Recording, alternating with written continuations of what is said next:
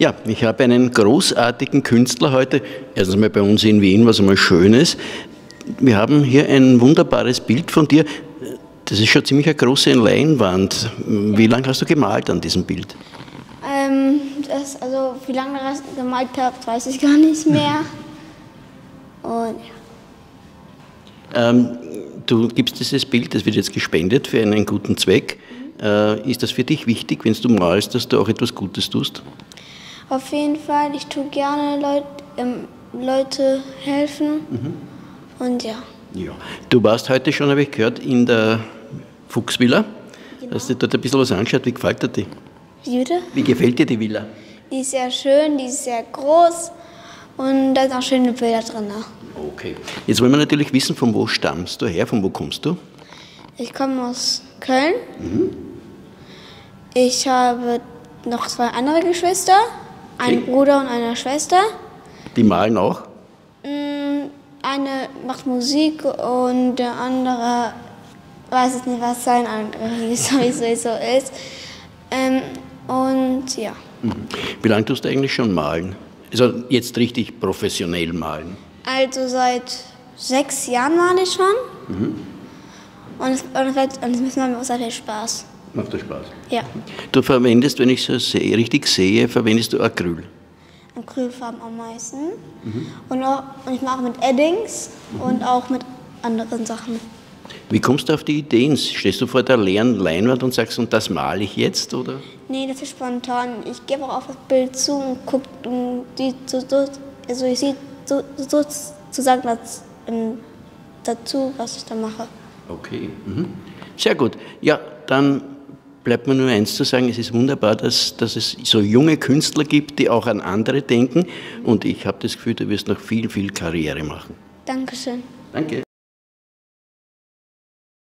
Ja, jetzt habe ich einen glücklichen Gewinner da, einer Versteigerung. Und zwar geht es um ein Abendessen, glaube ich, mit Barbara Wusso. Jawohl, das ist richtig, genau. Ähm, äh, United Charity hatte diese Aktion drin und äh, generell ist es immer schön, wenn man was für einen guten Zweck tut und äh, Barbara Wusso da natürlich kennenzulernen, war für mich dann auch nochmal ein, ein Highlight in der Geschichte und äh, somit haben wir zwei Fliegen mit einer Klappe. Mhm. Also es passt. Wie kommt man auf die Idee, äh, an so einer Versteigerung teilzunehmen? Na, ich habe auch in der Vergangenheit schon ein paar Versteigerungen mitgemacht auf dem Portal und äh, wie gesagt, immer für einen guten Zweck und dafür ist man doch immer zu haben, wenn es geht. Ja. Und wenn es dann so ein Abendessen auch noch gibt, dann ist ja das zusätzliche andere. Auf, auf jeden Fall, dann passt alles. Genau, ein wunderschönes Abendessen mit einer bezaubernden Frau und hallo und äh, dann noch für einen guten Zweck. Also alles prima. Barbara Busso brauche ich glaube ich nicht mehr vorstellen. Hallo, grüß Gott, guten Abend. Ähm, Botschafterin von Global Family. Ja. Heute ist es um eine Versteigerung gegangen. Ja.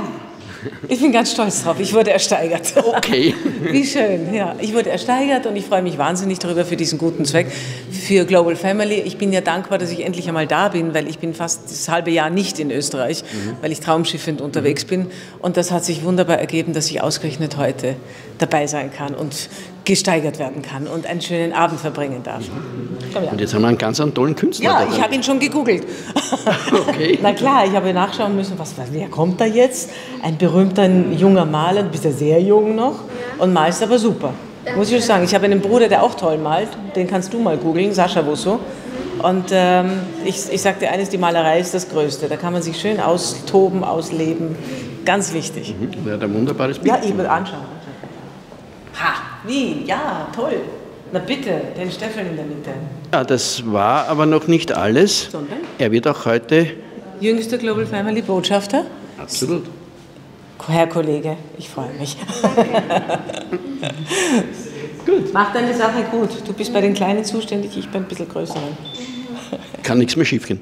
Sollte doch nicht, oder?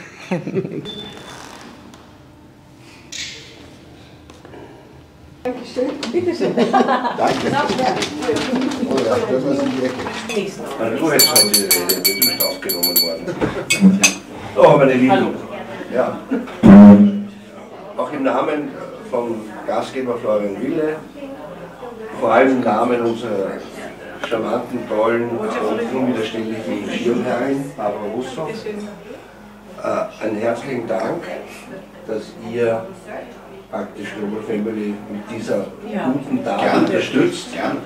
Was euch nicht zum Nachteil gereicht, weil wir ein wunderbares Essen und Platz in der, der schönsten Stadt der Welt.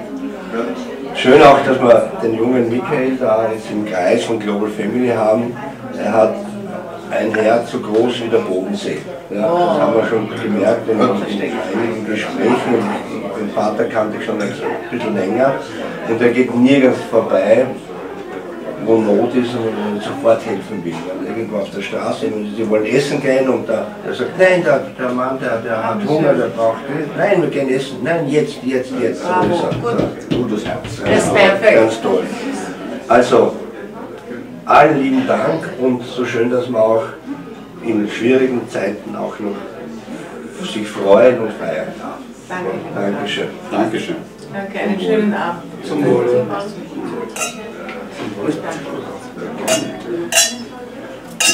Palle Hansen, Kempinski Hansen war der Architekt. Mhm. Wir feiern nächstes Jahr 150 Jahre Palle Hansen, ähm, die Ringstraße, ähm, auch zehn Jahre Kempinski in Wien. Also nächstes Jahr ist ein Jahr der Festivitäten und der Feierlichkeiten. Jetzt wird bereits heute gefeiert. Wir haben gesehen, es gibt heute ein Abendessen zugunsten von Global Family, das Barbara Wusso äh, praktisch mit einer Familie, die dieses Essen ersteigert hat. Ich glaube, das ist auch ein wichtiges Anliegen, dass das Hotel hat, auch äh, sozial tätig zu sein. Absolut, nein. Also Global Family ist eine, der, eine von, von drei, sage ich mal, ähm, Charities, die wir unterstützen. Das ist eine Herzensangelegenheit für alle Mitarbeiter. Es ist einfach was Wunderschönes, was sie tun, um, um Menschen, denen es nicht so gut geht, einen Urlaub zu ermöglichen und ja, glücklich zu machen, zu verwöhnen. Und ich hoffe, dass Sie den Abend heute auch so erleben da drüben. Kann ich mir gut vorstellen, weil das ist ja wirklich ein traumhaftes Hotel. Jetzt will man natürlich ein bisschen noch was über das Hotel erfahren. Was ist so die Besonderheit am Hotel? Die Besonderheit ist A, dass es ein Ringstraßenpalais ist. Also der Gast kommt ja nach Wien, um Geschichte zu erleben und hier kann er in der Geschichte leben. Äh, das Haus hat wahnsinnig viele Geschichten, erzählt viele Geschichten. Hansen war einer der führenden Architekten seiner Zeit, ein, Rockstar der Architektur damals. Ähm, man sieht äh, die, die griechischen Einschläge, die er mitgenommen hat von seinem Studium in Athen, überall im Haus. Man findet immer wieder Säulen, kleine, kleine Nuancen, die auf den Architekten hinweisen. Ähm, wir haben 152 Zimmer, davon sind 54 Suiten. Wie man damals gebaut hat, sehr hohe Räume, sehr hell. Also es ist ein sehr, sehr offenes Haus. Ähm, wenn man das Haus von außen sieht, das ist 150 Meter lang, fällt zwei Meter ab am Ring, weil der Ring abfällt. Ähm, was Hansen durch ein Stockwerk ausgeglichen hat, dass es links gibt, aber nicht rechts gibt. Also wenn man vor dem Haus schaut, steht und genauer schaut, fällt einem das schon auf. Also es hat viele, viele Geschichten und viel, was man erleben kann. Wir machen viel mit Kunst, viel mit Musik, viel mit bildender Kunst, auch Ausstellungen, Vernissagen, Konzerte. Im November kommt jetzt ein Operettenabend äh, mit dem Herbert Lippert und der Frau Raimondi. Also es ist immer was los, da tut sich was, weil der Gast will ja her und die Lobby für uns ist immer ein Ort der Begegnung, ein Ort der Kunst, der Kultur, des Austausches und das soll der Gast auch so miterleben, wenn er nach Wien kommt. Also so der Wiener Salon 2.0, sage ich mal. Jetzt, wenn man in dieser Lobby sitzt und nach oben sieht, hat man das Gefühl, das ist eigentlich ein Hof gewesen. Es ist ein Innenhof, also wir sind auch hier in einem Innenhof. Es gibt drei Innenhöfe tatsächlich, die alle überdacht worden sind. Das heißt, wenn man in der Lobby sitzt, schaut man eigentlich auf eine Außenfassade, was ein bisschen skurril ist aber die Überdachung dieses Bereichs hat uns eine Lobby geschenkt, die kein anderes Hotel in Wien hat. Es ist ein Konzertsaal, es ist ein Raum, der nach schreit, bespielt zu werden.